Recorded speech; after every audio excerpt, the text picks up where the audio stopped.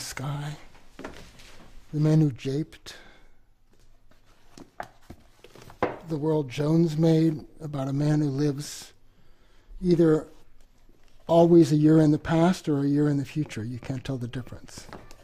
Solar Lottery, his first published novel. It's again one of the early magazines, real, real pulp stuff. But that's a great story, The World She Wanted, about reality. Every time they came out with a new edition, they would change the cover so that people wouldn't remember having bought the book.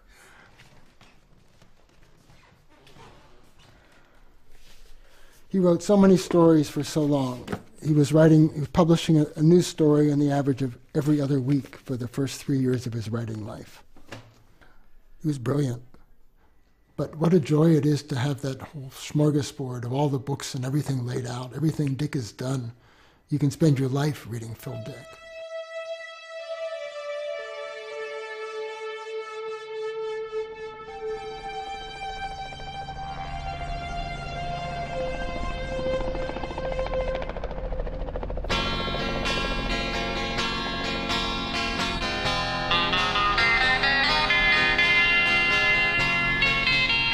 First Philip K. Dick novel in the 70s, a time when science fiction for the most part was still a hobby for male adolescents, just like hard rock.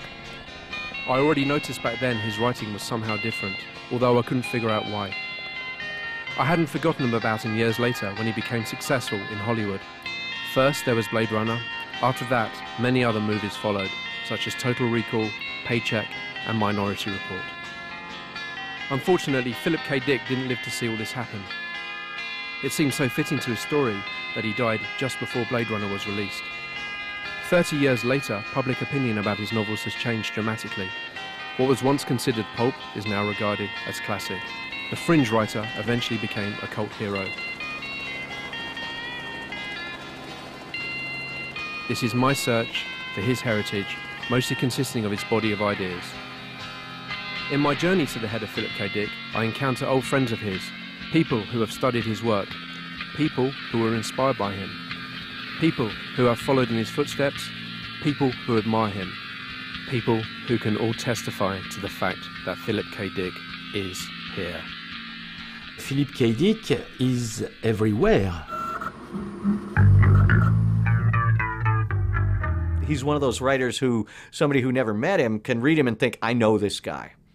And they do. I, he does come through very purely in his books. There are more ideas per paragraph than there are entire novels by other people. I mean, it, they're just, you know, he will throw away an idea. I have not seen much around in the artistic real world that had so much depth as, as Philip Dick's thinking. He had no skin. He was he was all nerves, and he wrote about the world around him um, with a kind of helpless uh, intensity.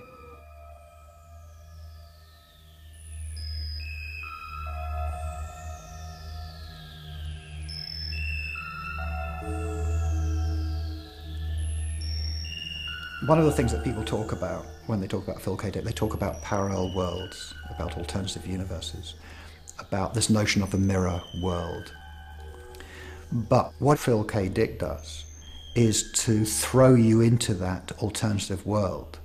You don't, I don't think you feel that there is a way back into the real world. There actually is no real world. You are you're struggling to to breathe. You're you're in you're already you're in this other world which to all to everyone around you believes is the real world, which you've been brought up to believe is the real world, which to all intents and purposes is your world, and yet it is a fake one. It is one that doesn't add up. There you come across little glitches in the fabric of that world, which tells you this isn't real. So there you are, an owl in daylight.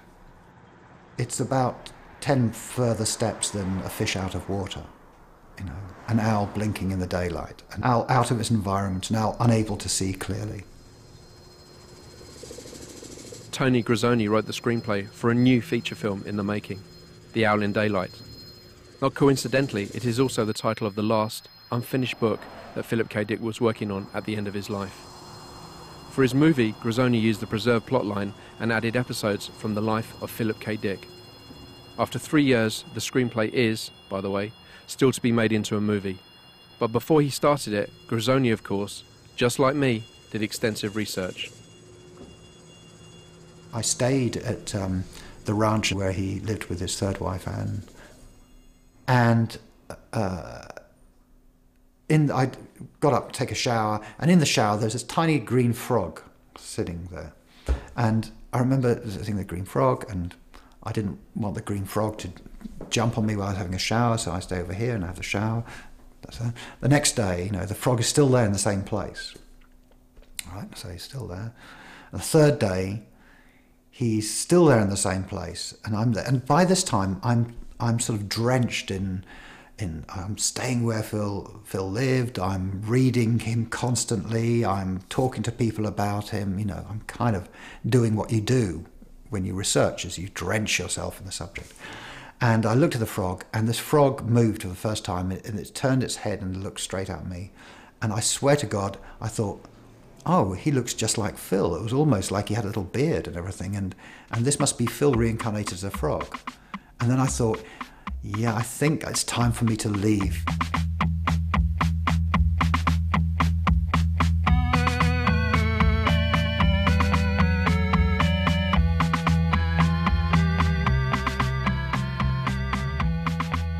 If you play with reality, as Philip K. Dick did, you can take on many disguises and become almost invisible yourself. According to Tony Grisoni, there are about seven or eight Philip K. Dicks. There's one constant element throughout, though. His whole working life had the same background California.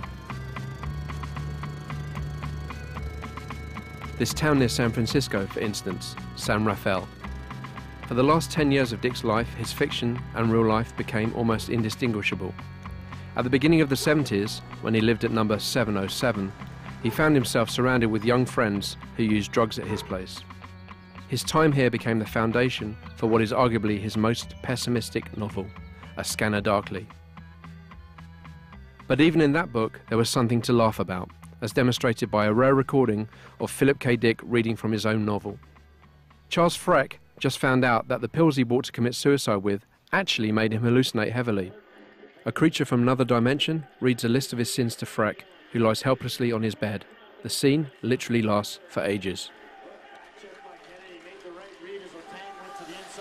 Next thing he knew, a creature from between dimensions was standing beside his bed, looking down at him disapprovingly.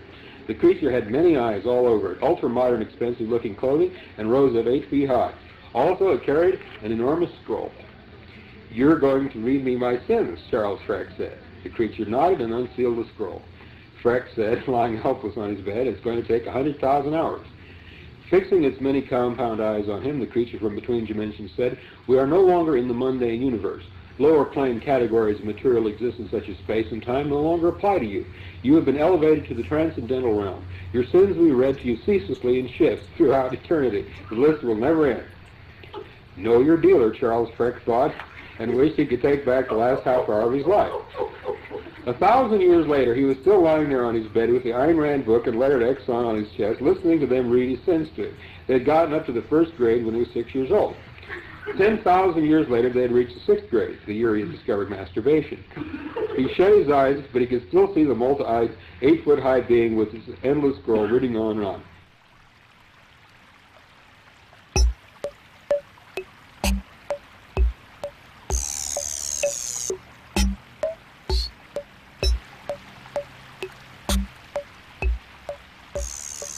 In the utterly soulless town of Plano, I find tangible evidence that Philip K. Dick is more alive now than ever.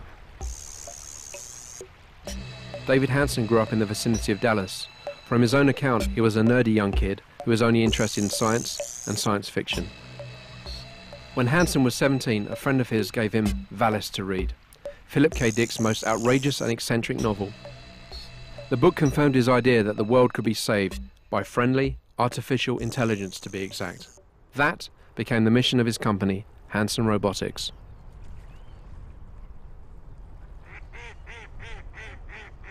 This Philip K. Dick experience that I had as a teenager came to a head with the android portrait of Philip K. Dick, um, where we were bringing Philip K. Dick back to life as an android in a way very similar to what uh, you see portrayed in his own fiction.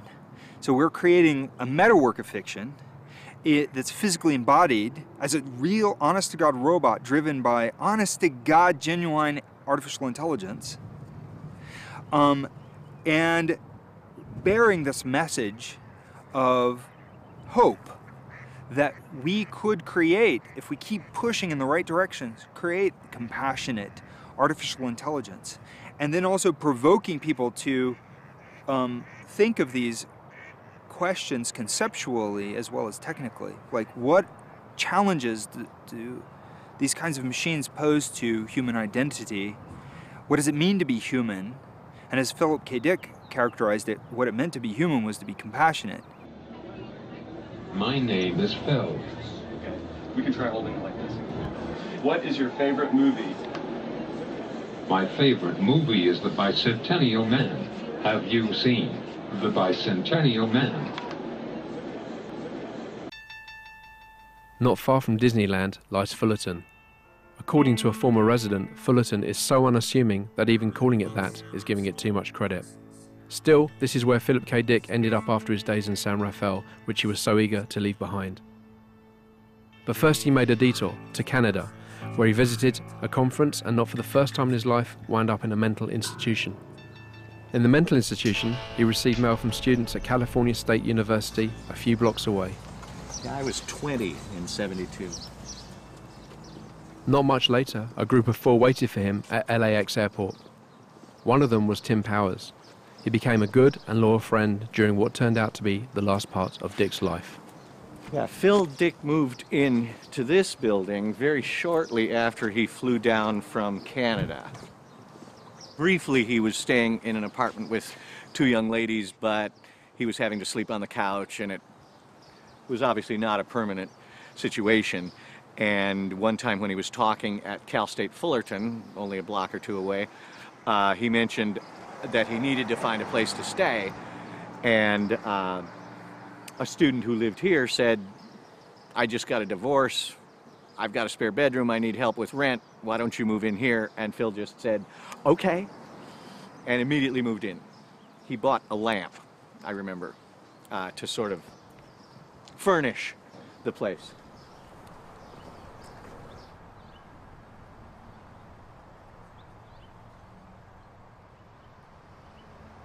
I had not read much of his work before I met him. Um, if I had, I wouldn't have been able to speak.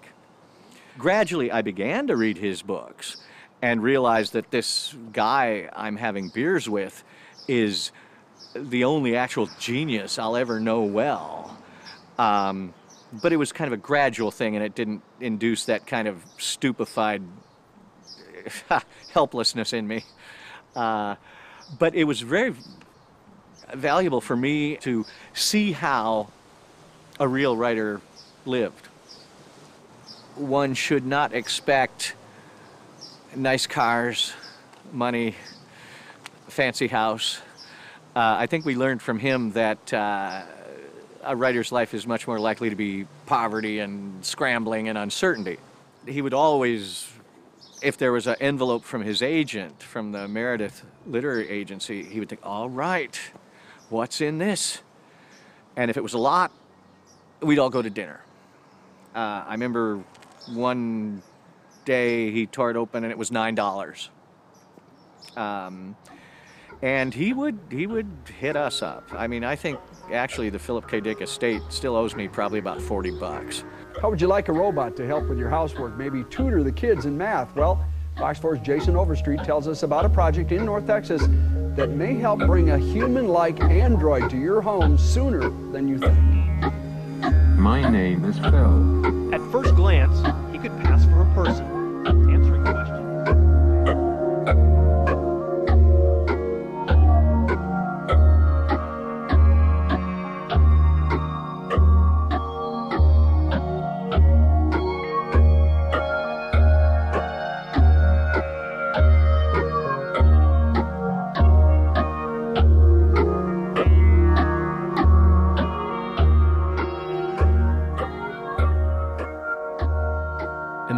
design, Philippe Starck is highly respected. Few people, however, know of his boundless admiration for Philip K. Dick. My company, where you are now, this company now is perhaps perhaps more than 30 years old, is called Ubik, following the title of uh, Philip K. D. Book, because at this time I was always working uh, alone a lot, but I was completely almost autistic, completely out of, uh, and the autism, you say autism in English, uh, is not far from uh, Philip K. Dick. And, uh, and that's why I was so out of everything, out of the society, out of the life. I create this company just to try to contact, to contact uh, uh, other human being to see how that work, how the, the, the society work. And Ubik means go everywhere in the society. Uh, be everywhere in all the territory, uh, go everywhere in the world and try to understand. Uh, why uh, Philip K. Was uh, perhaps my only master in my life, it was it's because uh, Philip was and still is perhaps the most advanced uh, and the most rich in modern parameters. Philip K. Dick speak about relativity. Relativity is clearly a structure because in Philip K. Nothing exists. We see in the reality, the real thing change permanently of design, of color, of form, of function by the power of mind, by the power of somebody. After, uh, Philip K. Dick uh, teach us uh, quantic mathematics. Quantum mathematics, quantic mathematics in two things. Quantic mathematics show clearly we are just the addition of what we do.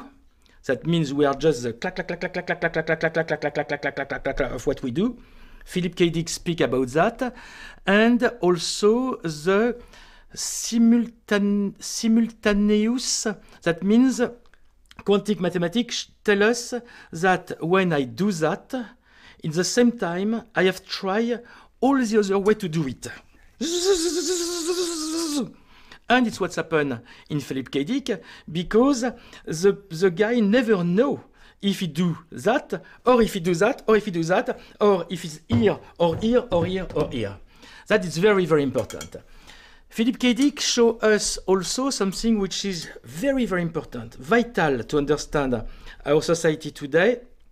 It's the end, the death of linear linear oh shit when when you have in front of you a line the history it was 18th century 19th century 20th century linear linear story a linear story uh, that is completely finished Today, we have a simultaneous, simultaneous, my English is horrible today, but okay, you know I'm French.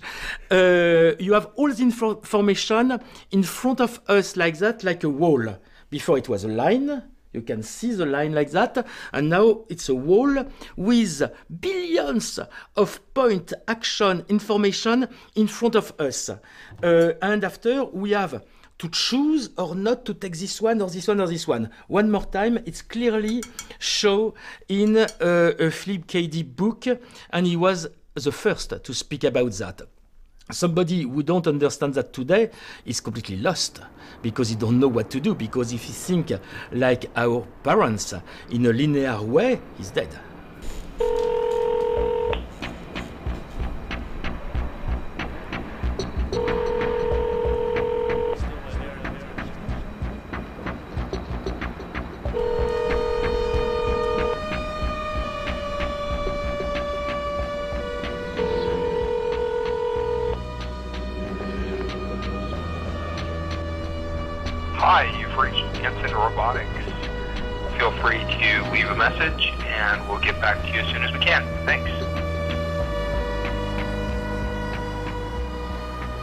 The office of Hanson Robotics in Richardson is a cross between a lab and an artist's studio.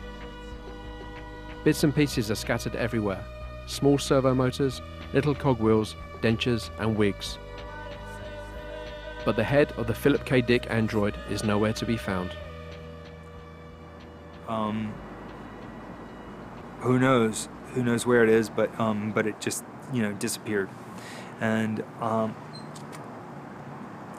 in it was heartbreaking and you know uh, really hard to you know break the news to like um, all the various people and involved in the project. It's really embarrassing. Um, I left the Philip K. Dick Android on an airplane on the way to um, showing that I promised to do um, in, at Google. The plane landed in Las Vegas, and I found myself being awakened by um, a flight attendant saying, Sir, you have to leave the airplane. I'm like, Huh? Where am I? Are we in San Francisco? No, no, no. You'll have to catch a connecting flight. I'm like, Oh, oh, okay. So I reach under the seat and I grab my computer bag and I'm like, Am I forgetting something? Feels like I'm forgetting something. Oh, but I better hurry because I'm going to miss my flight. So I run out of the airplane, climb onto the next airplane, land in San Francisco. I'm at the baggage carousel and I'm watching the bags come and I'm grabbing one bag and I'm realizing the Philip K. Dick head is not going to be coming down this baggage carousel because it was on the plane in Las Vegas. Uh, it was, you know, as far as I was concerned, the greatest work, you know, the one great work of art that I had done in my life. And um, to see it go away and just like not know, you know, it's missing. Uh, it's uh, it's really um, uh, hard.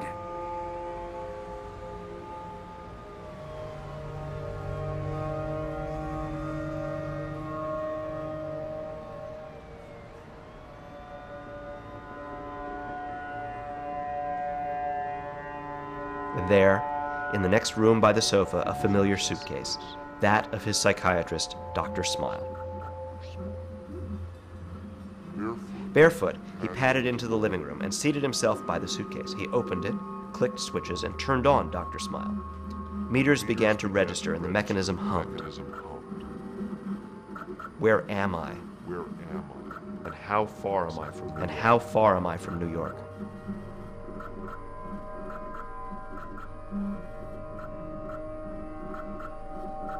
The mechanism, which was the portable extension of Dr. Smile, Tinnelly declared, Ah, Mr. Bayerson. Mr. Bayerson.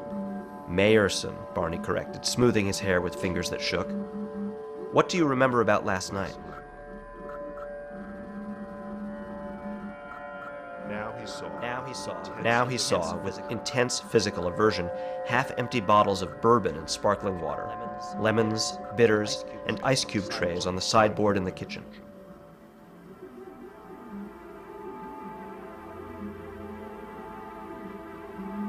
Who is this girl? Who is this girl? Dr. Smile said, The girl in the bed is Miss Rondinella Fugit. Ronnie, as she asked you to call her. Sounded vaguely familiar and, oddly, in some manner, tied up with his job. Listen, he said to the suitcase. But then in the bedroom, the girl began to stir. At once, he shut off Dr. Smile and stood up, feeling humble and awkward in only his underpants.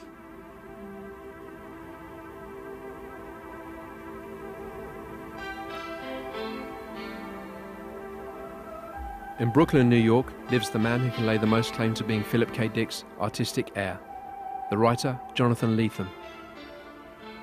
The traditional defense, from a literary point of view, of a science fiction writer is to say, forget this idea of the future, forget prediction. These are metaphors of the present moment. They're contemporary novels in allegorical disguise. And Dick fits that description beautifully. But the irony is, he was so deeply conscious of the trends that were, at that point, just inklings. The, the, the ideological, commercial, political forces that were shaping the reality of the 1950s and the early 60s, that in fact, we live in his world now. He was completely predictive. he was the greatest you know, uh, extrapolative science fiction writer who ever lived on the level of um, media and the intimate incursion of technology and and commerce into our daily lives. What does he describe except viral advertising and you know uh, one one thing after the next? The ambivalent nature of uh, of the android, you know, and we now have these computers that are essentially Philip K. Dick, you know, uh, suitcases. and we carry them everywhere we go. The triumph of the United States in World War II and the power of our industries and the success of our ideology was turning us into the first commercial imperial nation. And at the same time, the concept of everyday life in the American suburbs was becoming very, very tightly organized, very conformist, very anxious, very driven by consumer identity. He was the most responsive, the most um, paranoid, the most alert to these new possibilities because he himself was completely at the mercy of these things. He wrote from within these sensations. To him, an advertisement was a powerful intrusion on his personal space. It was coming at him and taking something away from him, and he was writing in protest of this experience.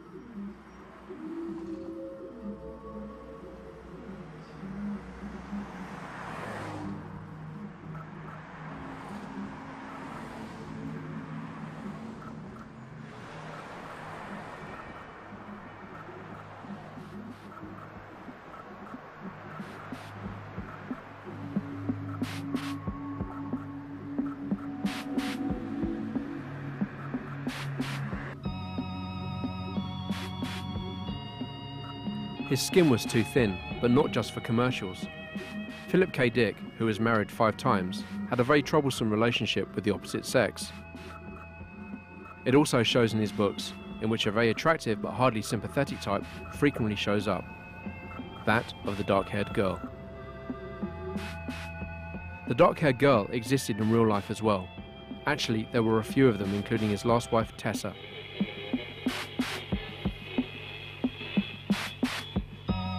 Near San Francisco, I find another once dark haired girl, Linda Castellani, who was still called Linda Levy at the time that the 42 year old Philip K. Dick got to know her.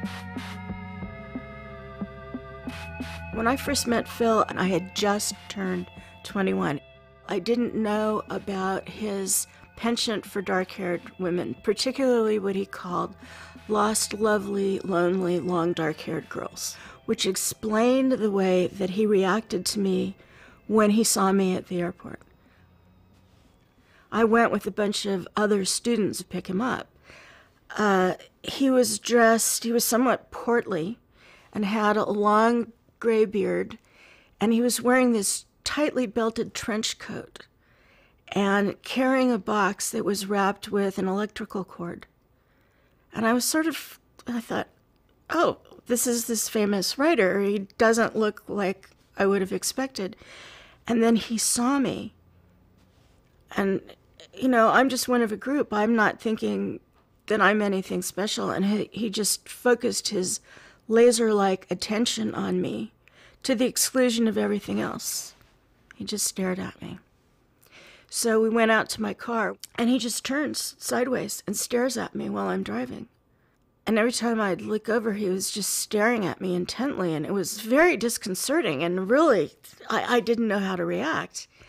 Um, well, it wasn't until after he passed away and these letters of his were published that I saw that his archetype was this dark haired girl. Linda, don't go crazy trying to keep up with your beauty. It's like a curse, isn't it, being so lovely? You're fighting to win a race with life, not trying to keep up with it like the rest of us do. The less appealing, the less attractive, the ordinary. But my God, sweetheart, you're going to sprint ahead of it and come out rushing and spent on the other side. You're going to win. You're already ahead of it. P.S. Linda, I am very much, very deeply in love with you. So this here is what I'd like to ask you. Will you marry me? I didn't I think I'd known him for 3 weeks at that point. I never would have seen that coming. I didn't say anything um, because I didn't know how to respond. However, later, in an example of how Phil could change on a dime from being intensely interested and deeply in love to angry and spiteful and mean, he said, Well, the only reason I said that was because you said no one had ever asked you to marry them. So that's the only reason I put that in there.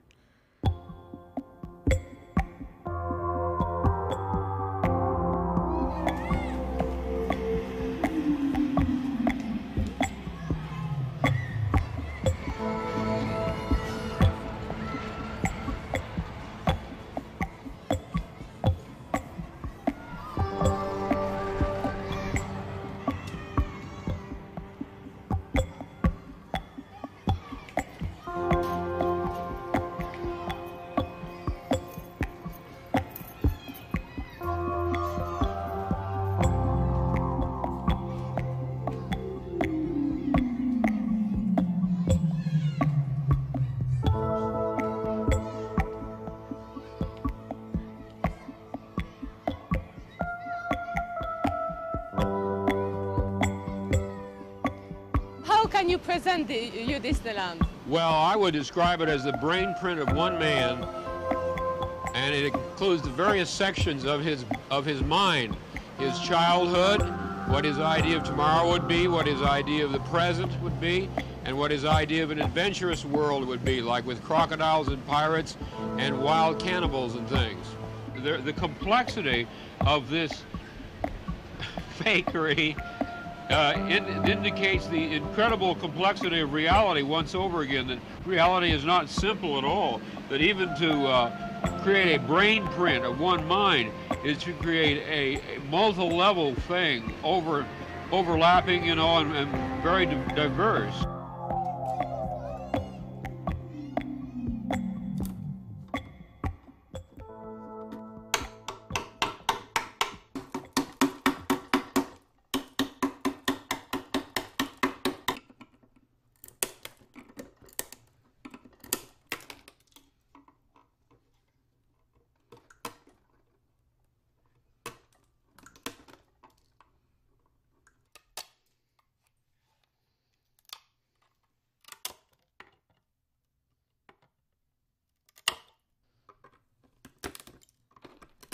The robots that we make are the children of Philip K. Dick's thoughts.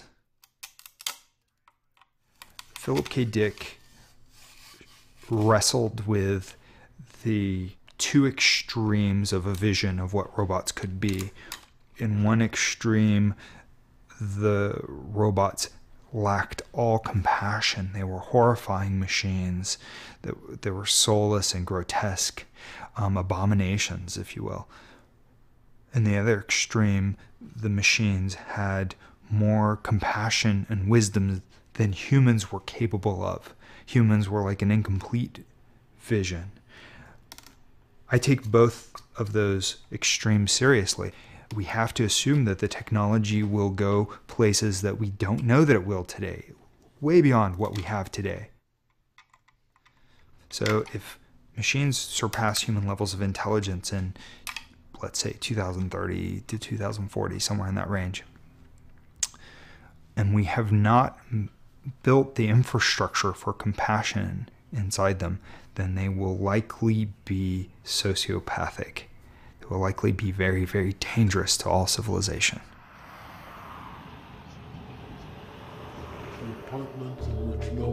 The apartments in which no one lives, no lives hundreds of them, and all are filled with possessions people had, like family photographs and clothes. Those that died couldn't take anything, and those who emigrated didn't want to. This building, except for my apartment, is completely kippelized. Kippelized? She just did not comprehend. Kipple is useless objects like junk mail or match folders after you use the last match. When nobody's around, kipple reproduces itself. For instance, if you go to bed leaving any kipple around your apartment, when you wake up the next morning, there's twice as much it. Always gets more and more. First law of kipple, he said. Kipple drives out non-kipple.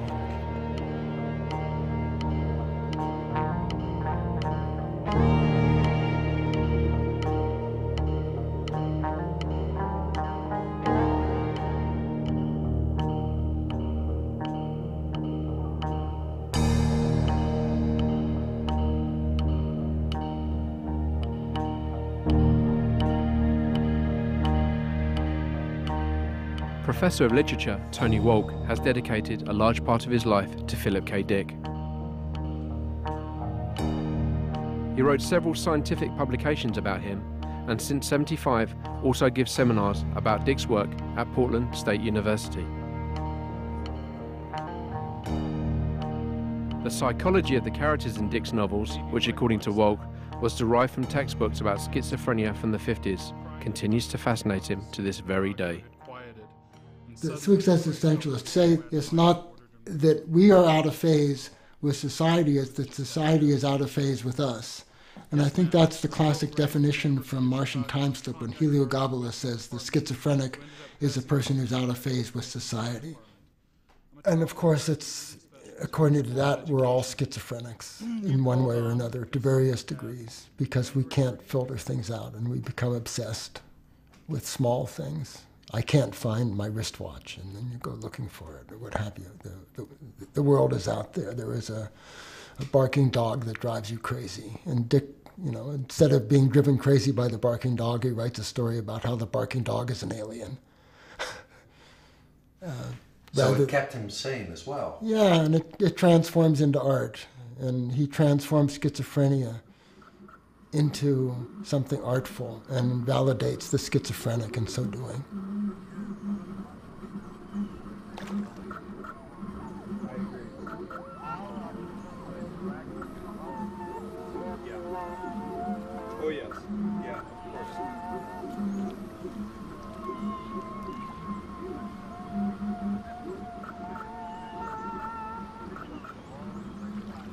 David Hanson doesn't have an easy time of being this impossible combination of a chaotic and a perfectionist. It also doesn't help that making human like robots is not cheap, and therefore he had to move Hanson Robotics to his own home, as he can no longer afford the rent for the original working space.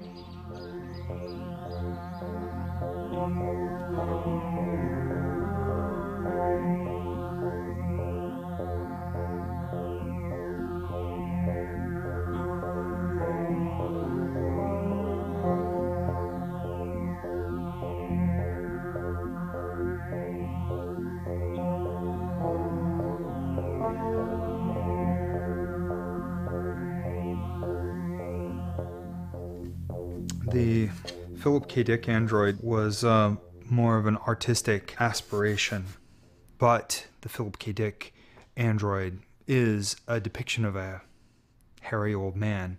So we wanted to do something cute, and the Zeno android was designed with baby like features, with a big forehead and big eyes.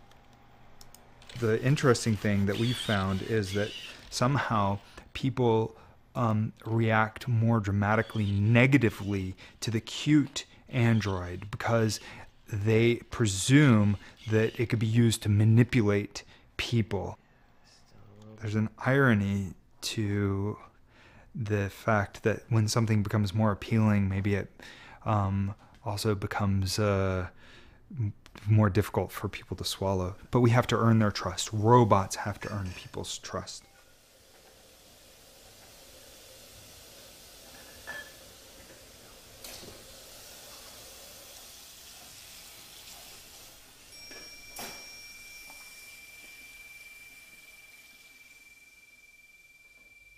Comunión con Dios. Cuando Dios te hace libre, redime tu alma, cambia la manera de pensar, te vistes diferente a lo que antes era. Caminas diferente. Ya no caminas. Usted se imagina si me hubiera conocido antes, bendito al Señor que no me conoció. Usted se imagina que yo caminara lo mismo que antes. Anduviera con pantalones y todo. Usted que me vería, como me vería? Me vería igual que un, como dijo la hermana, un majero. Me viera igual, porque no había cambios en mi vida.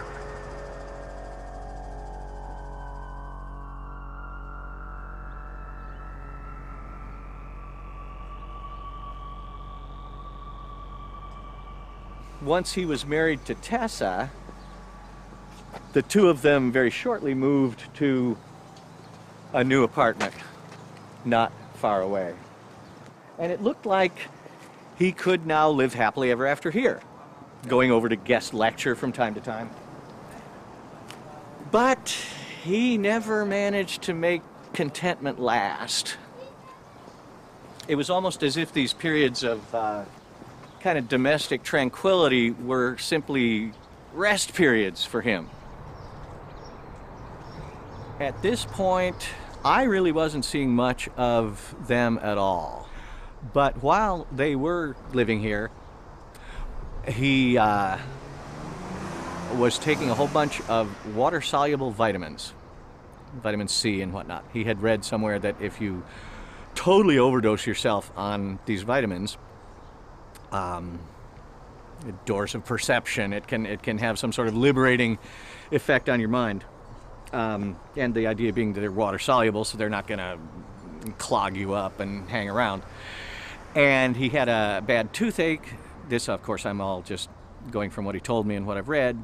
I wasn't a witness to it in those days, but um, he got the druggist to send over a courier with a bag of painkiller pills, and it was a young lady who probably was standing about on the sidewalk there, and the setting sun reflected off a Christian fish symbol she was wearing around her neck into his eye. And that triggered the famous March of 1974 visions, uh, in which uh, anybody who's read Valis knows um, he talked to God. God spoke to him. Um, he had visions of first century Palestine. Um, he diagnosed a hernia that his son had that had gone been overlooked by doctors, but which turned out to be real. Um, but that was something Phil heard from Valis. And Valis is God, is the pink light. God. is- Mostly it was God. Uh, You say that as a Catholic, or Actually, as a Catholic, if I had to, I mean, who knows, but if I had to put money on it either way, I would say God spoke to him.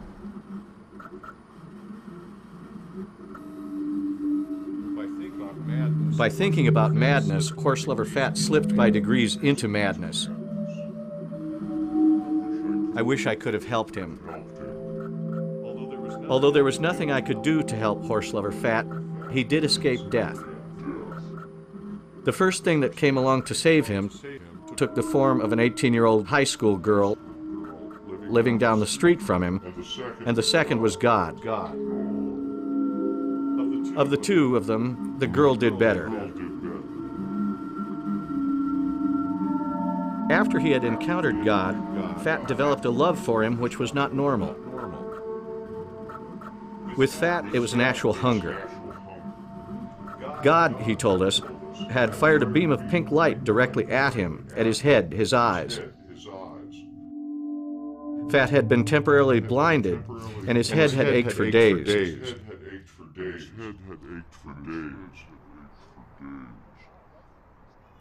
In that way, Philip K. Dick eventually became the main character in one of his own novels. Only that context can explain why, in the ordinary town of Fullerton, God chose to speak to this fringe writer, as Dick was still then. It resulted in his masterpiece, Valis, but for Philip K. Dick, the experience was more than real. It made such an impact on him that he would continue to write about it for the rest of his life, almost verging on the compulsive. He deeply felt the need to understand it. The subject of this speech is a topic which has been discovered recently and which may not exist at all. I may be talking about something that does not exist. Therefore, I'm free to say everything or nothing. At that time, I had no idea what I was seeing. It resembled nothing that I had ever heard described. It resembled plasmic energy. It had colors. It moved fast. It collected and then dispersed. But what it was, what he was, I am not sure even now. People claim to remember past lives. I claim to remember a different, very different present life. I know of no one who has ever made this claim before, but I rather suspect that my experience is not unique. What perhaps is unique is the fact that I'm willing to talk about it.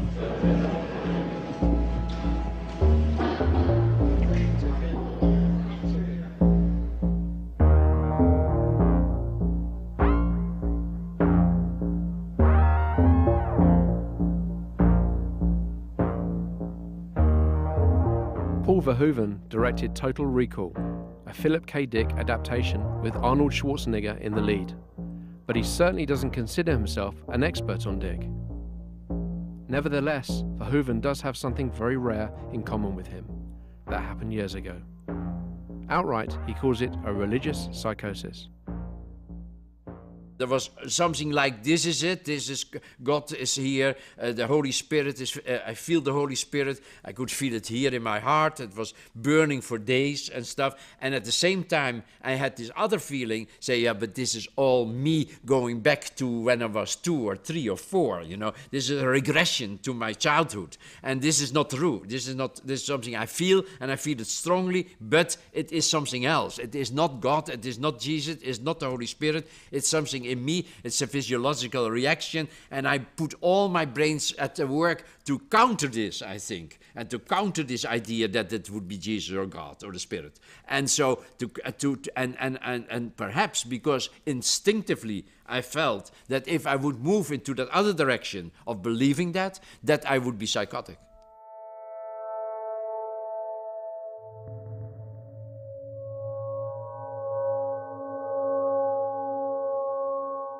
I'm not sure God did anything at all for him. In fact, in some ways, In fact, in some ways, God made him sicker. God made him sicker.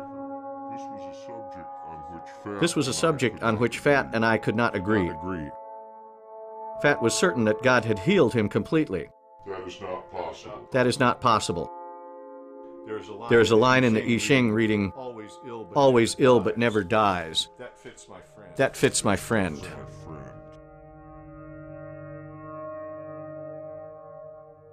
If you would be standing two miles, if that would be possible, two miles away from the sun, I think that's God. It's of, of, of, of a power and a, di- a dimension, a brutality and a, a destruction and a creation that is, let's say, of an infinite, infinite, infinite let's say, uh, strength. And I think for somebody like Philip Dick, I'm sure it's something like that and of that power that basically because even that one ray basically that would be that he might have picked up in it from what he thinks that God was is is strong enough to blow up your brain isn't it? That's the problem of course. It's so strong that it blows everything away. And i think philip dick probably brain was let's say lobotomized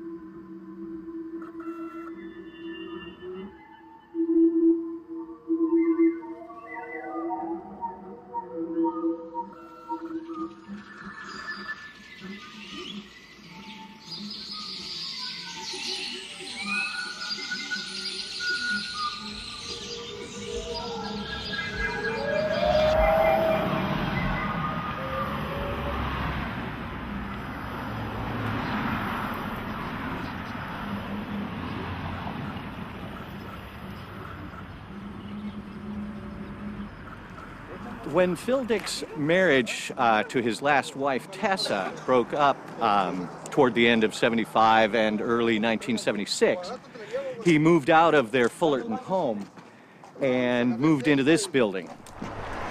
It's a relatively nice neighborhood, though uh, we lived only a few blocks north of here, and at night you would hear gunfire and and there was some drug trafficking in the street. But really, considering the course of much of Phil Dick's life, this was upscale.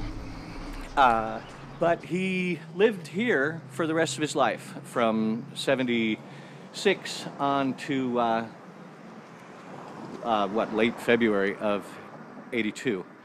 And uh, I remember on the night he had his strokes in February, uh, getting a call from his neighbors uh, saying that he had uh, he, they found him unconscious in his apartment, and as I say, I lived only a couple blocks away, and I came down here very fast, and as I was coming down here, I heard paramedic sirens uh, going down Main Street, and when I got here, the paramedics were just arriving and um, a friend of Phil's, uh, Mary Wilson, went with him to the hospital and then began what uh, seems in retrospect like two weeks of declining hope uh, until finally the doctors did.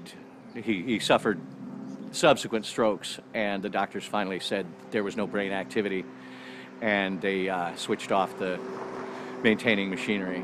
Um, during that two weeks, my wife and I had uh, the keys to his apartment here, or his condominium here, and we're coming over to feed the cats. There was some concern about some faction or other perhaps wanting to get conservatorship of, uh, of him, uh, possibly claiming that he was there was always the risk that someone would claim he was mentally incompetent. And at one point, I saw a, tack, a stack of typescript uh, on his desk, which was part of his exegesis. And just reading the top sheet, uh, a stranger might very well conclude that he was crazy. The exegesis, after all, is freewheeling speculation about uh, theology, and everything else. And I thought, I don't want to leave this where it could be used to have him declared crazy. But on the other hand, there's no way I'm taking anything out of this apartment. Um, and so he had this ashtray, kind of a big metal cylinder with a dish on top. And the cylinder said Elvis is king and had a picture of Elvis Presley on it. Every Christmas, whoever had the Elvis ashtray would give it to somebody else, and the subsequent Christmas they would give it to somebody else. And this was Phil's year for having the Elvis ashtray. So I lifted the lid off and put the manuscript down inside and put the lid back on. But then this attorney came and confiscated our keys to the place, and then Phil died, and I thought, that manuscript is still in the Elvis ashtray. Uh, and so I called Phil's agent, Russell Galen, and said, listen, when you're inventorying the house, the, the apartment there, be sure to take the lid off of that ashtray and get the papers out. It's important manuscript. And the agent said, he kept his manuscripts in an Elvis Presley ashtray? Philip K. Dick died at the age of 53. At the end of his life, besides his obsessive writing for the exegesis, he also worked on a new book that will remain unfinished. This, this new one, have you got a tentative title for it? It's got a title, all right. It's called The Owl in Daylight. And I heard it on a TV program just as a line spoken by a character and it made a tremendous impression on me, The Owl in Daylight. Mm-hmm. And I, I wanted to write about a guy who pushes his brain to its limit is aware that he's reached his limit, but voluntarily decides to go on and pay the consequences. It can't be overstated how much Dick, for all he accomplished and for all he knew he accomplished, felt that he'd never been recognized, never even been noticed by the literary establishment. And he had plenty of reasons to feel this way. And that feeling, which he took to the grave, uh, is one that I think is very hard for his intimates. Jonathan Lethem is the main reason why the best novels of Philip K. Dick are now being published in the prestigious Library of America. Many years after his death, his idol finally became part of the canon of American literature after all.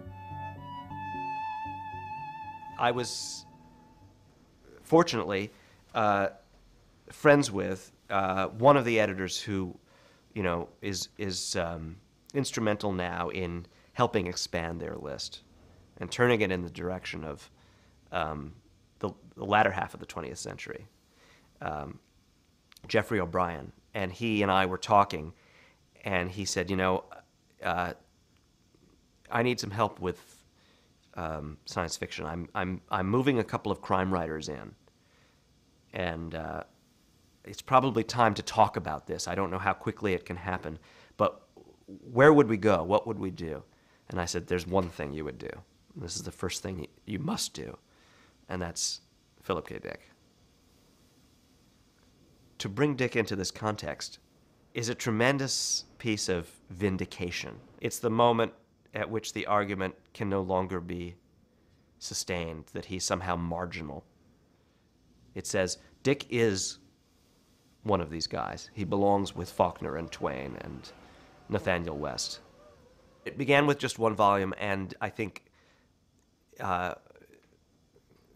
I will say immodestly, I think that there was great deal of surprise on the part of the Library of America at the enormous response it sold better than any book they'd ever put out, sold more quickly than any, any book they'd ever put out. And the amount of coverage, the amount of um, extremely generous commentary in the, you know, reviews, uh, I think they were they were very quick to ask for more. So that was a, a great moment. It was a great moment.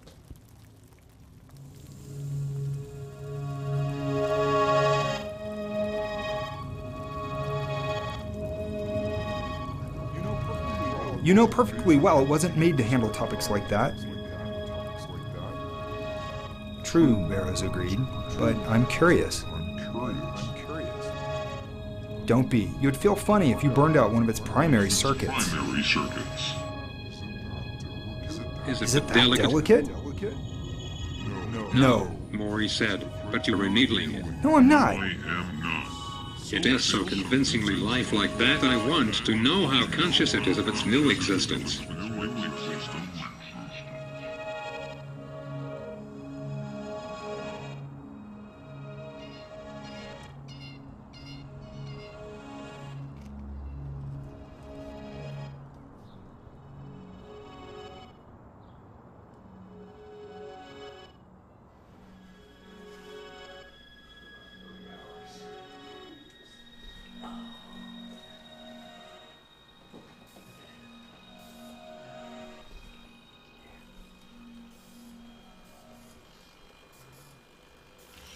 Hello, David. It's good to see you again. It's good to see you too, Zeno. It's nice to see you walking.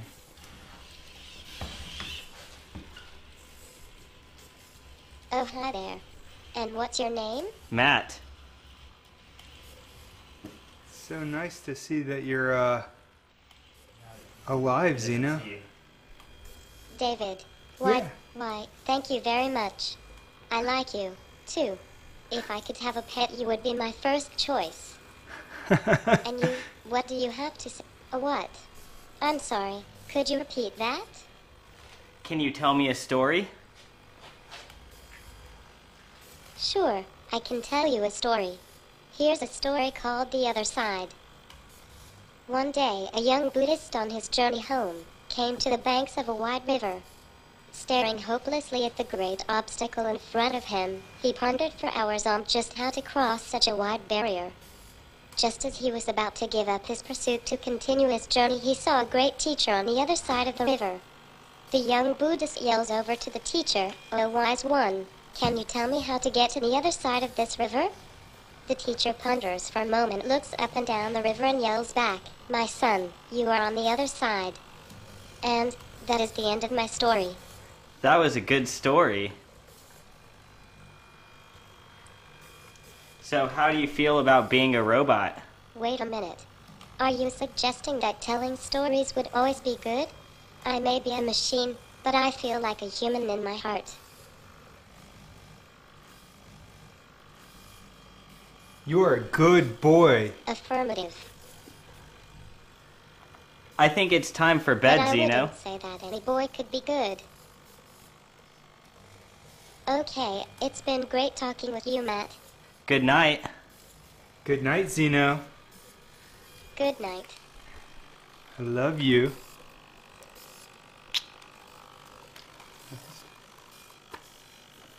Okay, I'm gonna turn your batteries off now. Yes, oh, but I just love you so much. it's so good to see you alive. yes. Yes, what a good boy. A good boy, good night.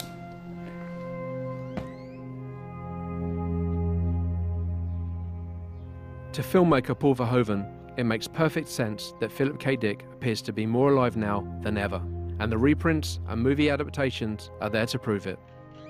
There is some echo there, you know, some echo that has to do with living your life in the United States and having this feeling that what is real is not real.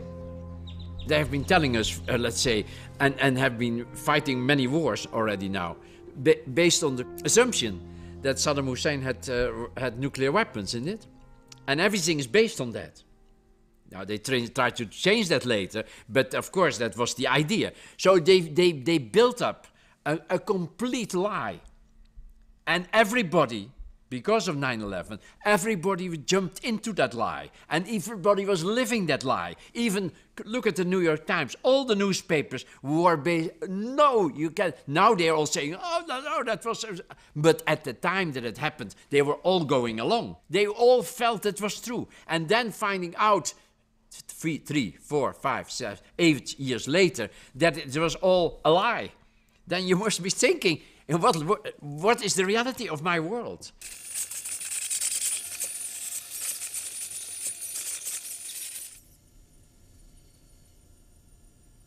My books are forgeries. Nobody wrote them. My books are forgeries. Nobody wrote them. My books are forgeries. Nobody wrote them.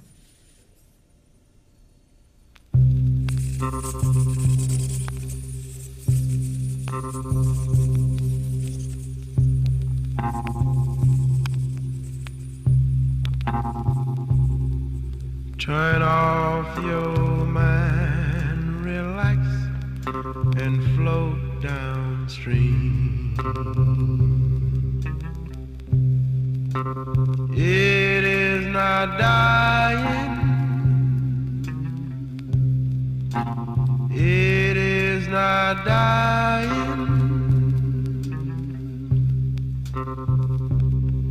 Lay down surrender to the void. It is shining. It is shining. Yet you may see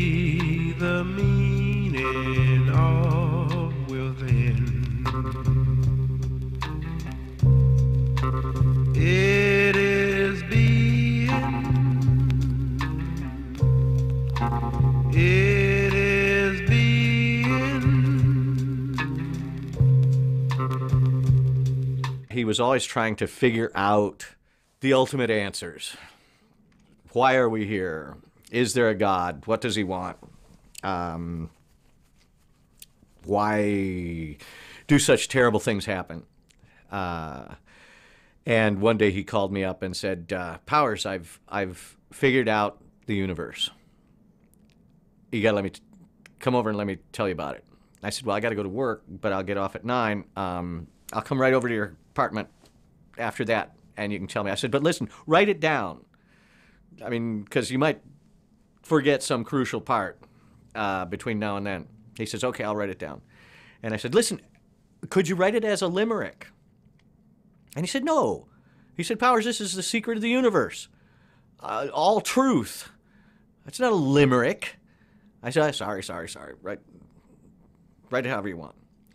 But when I went over to his apartment after work, he had written it as a limerick, um, apparently taking that as a challenge.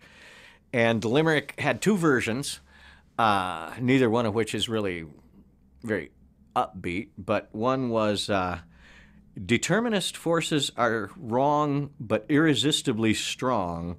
For of God there's a dearth, for he visits the earth, but not for sufficiently long. And the other one was Determinist forces are wrong, but irresistibly strong. For of God there's no dearth, for he visits the earth, but just for sufficiently long. That's the hopeful one, the second one. Uh, where God is present just barely enough to counter the bad mechanical forces of determinism. And he, he said, I said, well, which one is which? I mean, which goes on top? And he said, well, take one of them Monday, Wednesday, Friday, the other one Tuesday.